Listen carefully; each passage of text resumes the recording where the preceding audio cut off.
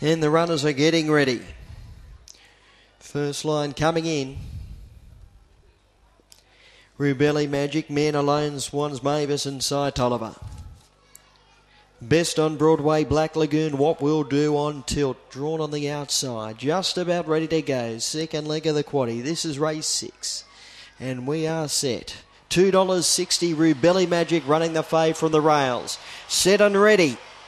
Racing, Rubelli Magic began brilliantly. Swans Mavis got away well. Rubelli Magic's going to lead on settling down from getting to second. Man alone and then Swans Mavis. Followed up by Black Lagoon. What will do? Cy Tolliver best on Broadway. On tilt back at the rear. Rubelli Magic running along on the top turn. Led by eight to Man alone. Swans Mavis. Then Cy Tolliver running on. Followed up by What will do. But Rubelli Magic a huge leader on the turn. And Real Rubelli Magic one easily by four. Man alone second ahead of Swans Mavis and then on tilt Cy Tolliver. Followed in by Black Lagoon, What Will Do and Best on Broadway.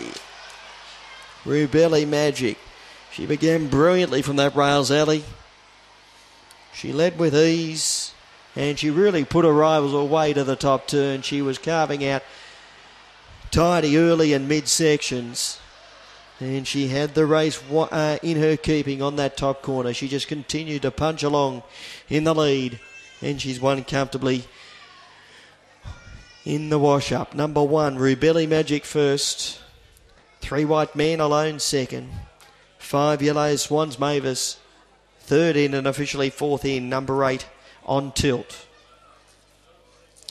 One, three, five, and eight are official. 30.06 the overall time 30.06 the overall time.